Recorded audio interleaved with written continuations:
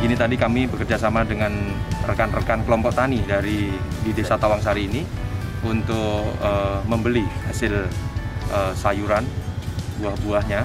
untuk kita jadikan uh, sembako bansos, kita tambahkan uh, beras, kemudian minyak dan beberapa sembako lainnya kita bagikan kepada warga masyarakat yang ada di sekitar daerah uh, Tawangsari Sukoharjo.